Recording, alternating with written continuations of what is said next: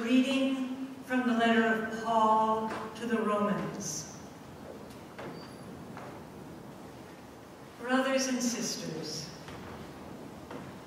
are you unaware that we who were baptized into Christ Jesus were baptized into his death?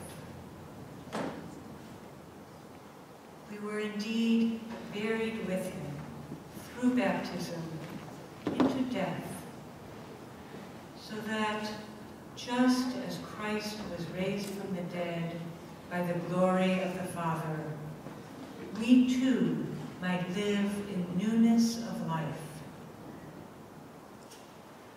For if we have grown into union with him through a death like his, we shall also be united with him in resurrection.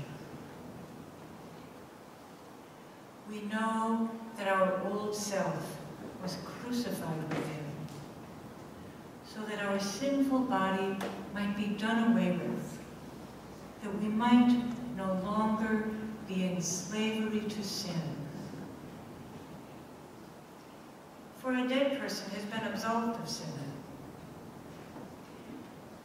If then we have died with Christ, we believe that we shall also live with him.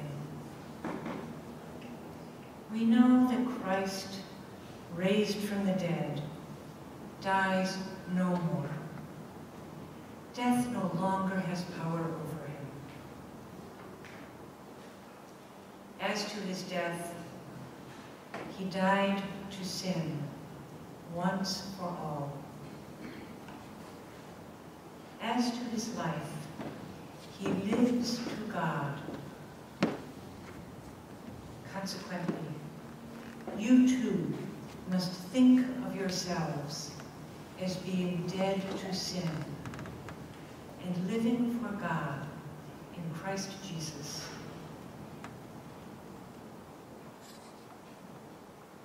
The word of the Lord.